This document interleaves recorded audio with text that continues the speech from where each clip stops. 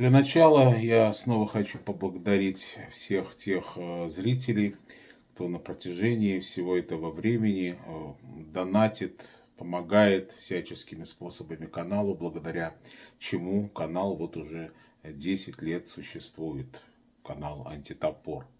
Э, спасибо вам, ребята, за все. Спасибо и за любые суммы, которые вы донатите. Это могут быть и маленькие, могут быть и не очень маленькие, но они бывают. Вас немного, но э, на вас держится канал. Еще раз благодарю. Ну, хочу также сказать, что календари вокруг света армянского до сих пор имеются. Если вы не приобрели за 23 год, обязательно приобретите, чтобы у вас был полностью комплект, начиная с 2019 года. А если вы вообще ни разу не приобретали, то так сам Бог велел вам приобрести э, календарь, хотя бы начните вот с 23 года, потому что это э, такой кладезь армяноведения. На каждый день информация, что случилось в армянском мире в ту или иную эпоху, начиная там древних времен, кончая э, наших дней 2022 года, 23 нету еще, конечно, но до 22 года включительно вся информация. Э, как заказать под этим самым выпуском, где вот имеются банковские реквизиты для донатов, там Сбербанк, Patreon, Boosty. А, там же и написано, как заказать календарь. Заходите по ссылке и делаете все так, как там написано. Если вы живете за пределами Российской Федерации и не можете воспользоваться а, этим самым application, этой анкетой и а, услугами Сбербанка, то ничего страшного, можете мне написать на электронную почту. Адрес электронный там тоже имеется, vadarsobaka.mail.ru.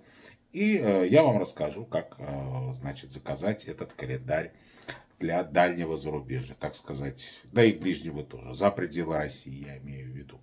Ну, а теперь штопанный гордон, как я назвал этот э, выпуск. Знаете, меня очень удивляет один человек на Украине. Я сразу хочу попросить прощения у тех, кому не нравится «на». Но нас так в школе учили говорить на Украину, а не в Украину. Нас это кто в русскоязычной школе учился. Итак, удивляет меня Дмитрий Гордон, как уже несложно было э, догадаться. Ну, всем известно, на чем он делал состояние свое в 90-х и нулевых, рекламируя мошенников э, тех лет. Рекламировал пирамиды финансовые за большие деньги, пиарил э, того самого известного э, шарлатана Анатолия Кашпировского, помните, да? Смотрите телевизор, выпейте там водички, и все ваши швы вместе с родинками рассосутся. Так вот, и тогда миллионы наивных домохозяек попали на бабло, часть из которых ушло Гордону. Я-то думал, он остепенился, хочет страну свою привести э, к цивилизованному демократическому обществу, презирая любые формы э, диктатуры и автократии. Ведь именно против всего этого ратует Гордон, так ведь? Да, я думал, что он остепенился. Ну, кто из нас э, в бесшабашной молодости не клевал на все то, что блестит?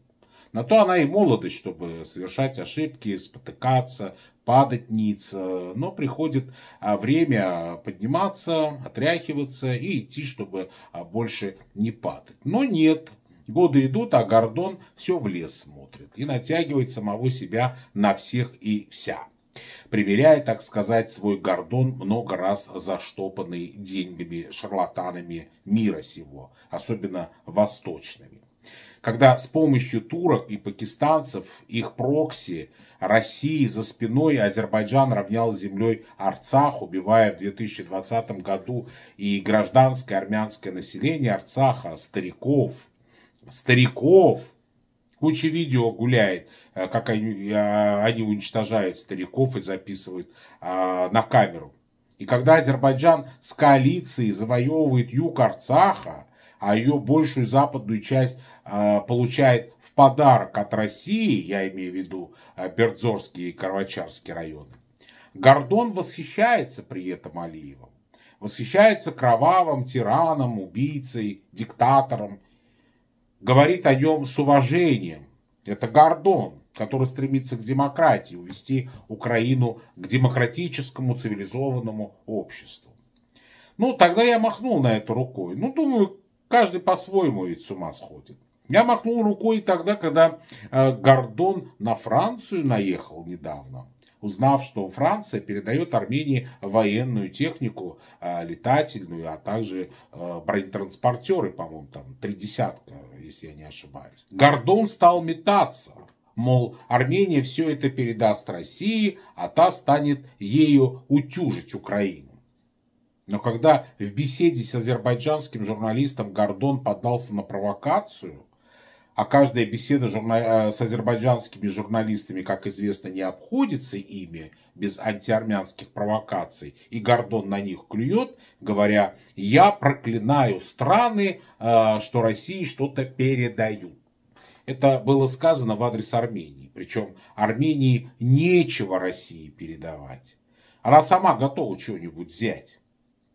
На самом деле э, тебе эта демократическая и цивилизованная Украина как кость в горле.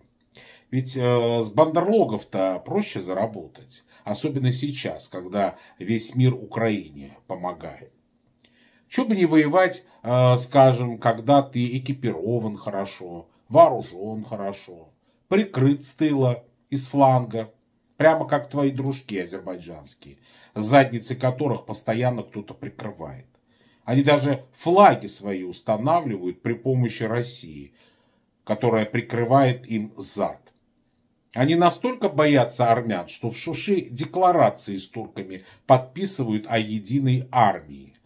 Потому как, когда они одни и армяне тоже одни, то последние дают им мзды. И они это знают, азербайджанцы.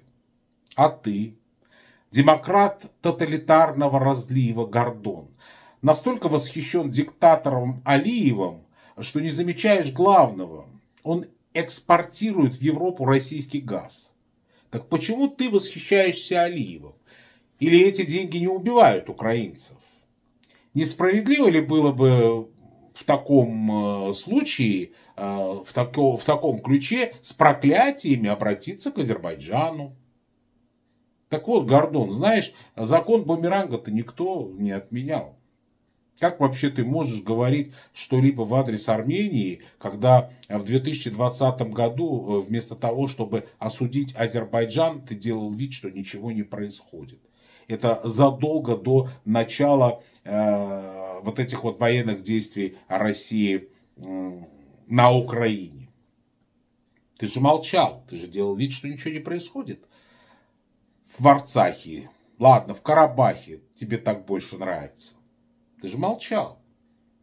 А в Киеве, Харькове, Львове, Львове, где армянское присутствие со средних веков, вы вывешивали плакаты с поздравлениями Азербайджана. Ну так вкуси и выкуси в таком случае. Я не знаю, правда или нет, что Украина э, поставляла оружие Азербайджану во время войны, не имею достоверной информации, но знаю, что поздравляла, и это точно. И этого мне уже достаточно. Но проклинать я не буду. Не буду я проклинать Украину, украинский народ. Я не бабка у подъезда, чтобы проклинать и плеваться. Вообще скажу тебе, Гордон, по секрету, и тебе, и всем, кто э, предает святую армянскую землю, давшие человечеству второй шанс и напоминающий об этом радугой. Ну, я, я, я надеюсь, ты понял, о чем я. Все-таки ты же умный человек. Это написано и в Талмуде, и э, в Библии, и в Коране. То, что я сейчас сказал. Про радугу, про вторую жизнь. Враги армян живут недолго. Их империи тают на глазах. Когда плохо нам, армянам, страдает полземли. Когда не было России, не было Украины тем более, и уж тем паче Азербайджана – Армения попала под власть Рима и стала ее самой крайней восточной провинцией. Многие армяне пролили тогда кровь, особенно крестьяне. Через несколько лет у Римской империи начались проблемы. Гражданская война, переросшая в потерю ряда земель. Помпею, который присоединил насильно Армению, пришлось бежать, но потом он лишился головы. Через многие века Армению, союзницу Византии, терзают туркменские уже племена, пришедшие с востока. Истреблены сотни мирных жителей. Константинополь закрывает на это глаза, ищет пути сближения с туркоманами, предов армян. И что становится с Константинополем? Верно. Через несколько лет он пал. Закончилась Византия. Начатый с 1896 года геноцид армян и продолженный до 1915 года положил конец некогда могущественной Османской империи.